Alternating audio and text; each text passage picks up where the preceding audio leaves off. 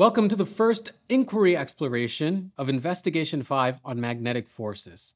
Experience 1 is called Magnetic Forces and Fields, and it's about what causes magnetism and how magnetic materials behave when they feel these magnetic forces. So, your laboratory exploration in this experience focuses on how to quantify the magnetic force. In other words, you get to search for one of nature's mathematical rules regarding magnetism. All right, lab time. The inquiry lab for Experience 1 for magnetic forces is called Magnetic Force and Separation Distance. And its essential question is how does the force between magnets change with distance? As you know, there are other forces that act at a distance, electric and gravitational. What's interesting about those two is that they behave in the same way mathematically. Is the magnetic force there equal, or does it act differently? Let's see the lab overview. The force due to gravity between two massive objects and the force due to electrostatic charge between two electrical charges behave similarly. In both cases, when the distance between the two objects changes, the change in magnitude of the force is inversely proportional to the distance between them. For both the gravitational and electrostatic force, the mathematical relationship between the magnitude of the force and separation distance can be written in the form F equals A over D squared, where F equals force, A equals constant of proportionality, and D equals separation distance. In this experiment, the mathematical relationship between the magnitude of the magnetic force and the separation distance between two magnets will be determined using dipole magnets. The general expression can be written F equals A over D to the n, where n is the exponential factor. For both gravitational and electrostatic forces, this factor is equal to 2. This is the apparatus we are going to be using in this lab. The force scale will help us apply a specific amount of force to the magnets. When the same poles of two magnets are brought together, two north ends for instance, they will repel each other. The closer you bring them together, the stronger that repulsive force will become. This is something that you can feel easily. The magnets being used in this lab are neodymium, which are extremely strong. They have a north and south pole just like any other magnet. When putting this setup together, you want to make sure the same poles face each other. The magnets need to be oriented so they repel each other. Be careful. The strength of these magnets means they can snap together with a lot of force if opposite poles come in contact with each other. This repulsion is what causes the smaller container to essentially float inside the larger container. While the two containers are not touching, they are still part of the same system, which is why the combined mass is recorded. They are interacting through magnetic forces, which are non contact forces. When the PVC is pushed down, the repulsion between the magnets can be felt. The more force applied, the smaller the separation distance, but the stronger the repulsion. If we were to plot just the separation distance versus force, the graph would show an exponential curve. By plotting the log of the separation distance versus the log of the force, the slope of the line can be calculated. The inverse of the magnitude of the slope gives the exponent, which shows the relationship between force and distance between two dipole magnets. So, you've seen that the electric and gravitational force have the same mathematical patterns regarding force and distance in what's called an inverse square relationship, meaning the force decreases as distance increases. That's the inverse part. However, if you increase the distance by a factor of two, or in other words, if you double the distance between the Earth and the Sun, for instance, then the gravitational force is not two times less, it's four times less. And that's the square part. Two squared is four. This pattern repeats, so if the Earth were three times as far, the force is three squared, or nine times weaker. And the electric force works the same way. They have an exponential factor of 2 in their equation. So, our task is to find how the magnetic force compares to these forces. Does it have an exponential factor of 2 or something different? In order to determine accurately Your data collection in this lab will need to be as accurate as possible, so get ready.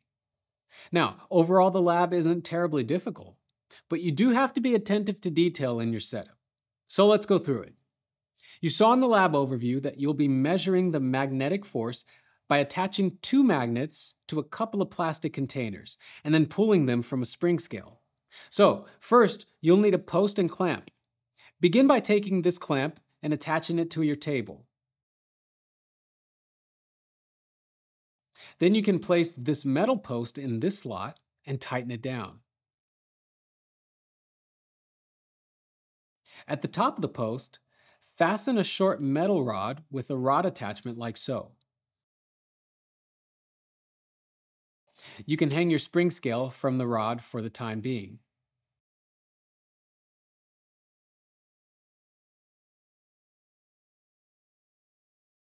Okay, so it's time to secure the magnets. To begin, you should have two neodymium magnets. Be very careful when separating these.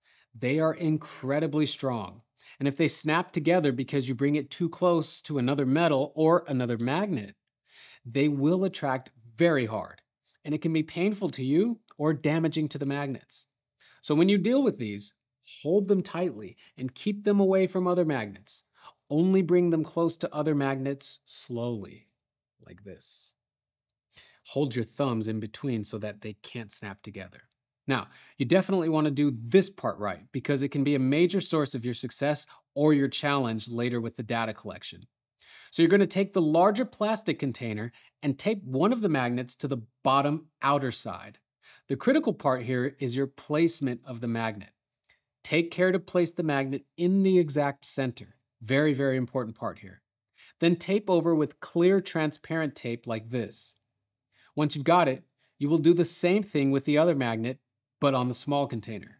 But before you do it too soon, you must orient the magnet so that it repels the other magnet when you place the small container inside the large one.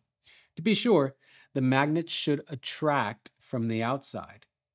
So you can test this by taping the magnet and then bringing them close together just like this. But being careful not to bring them too close so they don't forcefully connect. Hold the magnets down with your thumbs, acting as a barrier, and slowly bring them close until you feel the magnetic force. If it feels like they are attracting, pulling close together, you're good. If they feel to be repelling, then they will attract when you place the container inside and you need to flip the magnet in the small container. Again, be detailed in placing the magnet directly in the center and make sure you tape tightly.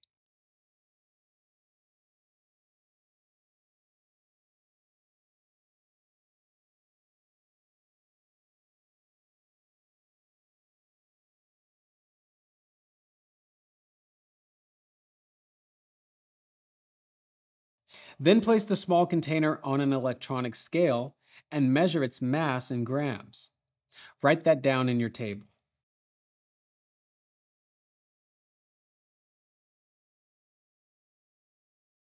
Then take the small PVC tube and measure its mass and write that down in your data table as well.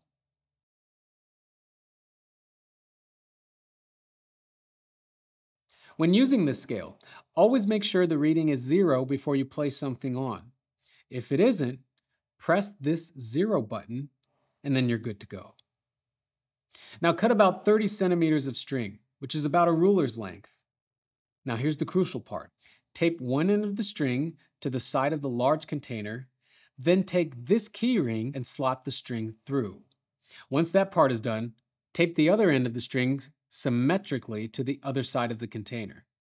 Some tips here are to tape the exact same length of the tape on the other side and tape it directly across the other side. If you were to look down the container from the top, the string should split the container exactly in half. All these details will help ensure you can hang the apparatus to the scale with balance and evenness. Now you've got a little bucket handle here, and you can simply slot the keyring over the hook of the spring scale.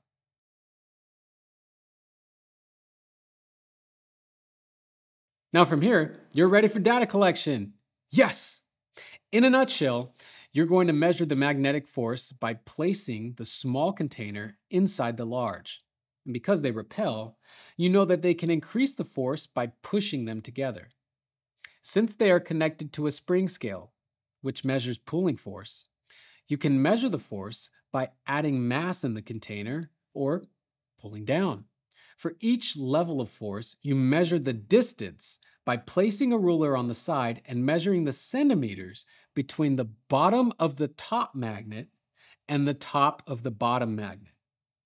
This is a challenge to do, no sugarcoating this one. Now, you want to round to the nearest millimeter. Take your time to get as clear a reading as possible.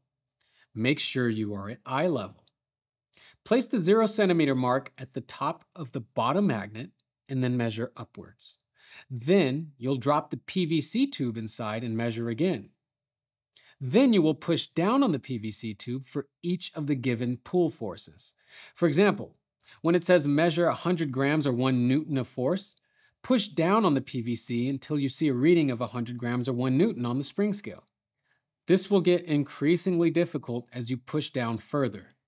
And that's why it's very important you place both magnets directly in the center of each container. You really will need a partner to help with this measurement process. I recommend someone reading the spring scale and pushing the PVC pipe down. This person needs to hold as steady as possible so that the other person can take time to measure the distance with the ruler from eye level. Don't get frustrated. Take your time. This is a pretty fun lab, I've got to say. Definitely takes some setup time, but it's very rewarding when you do it correctly. Remember, your upcoming mathematical conclusion as to the nature of the magnetic force and distance highly depends on your accuracy in measurement. So be great. We look forward to seeing how you analyze your data. And of course, we look forward to watching you take on this inquiry. Have fun! and see you in the lab.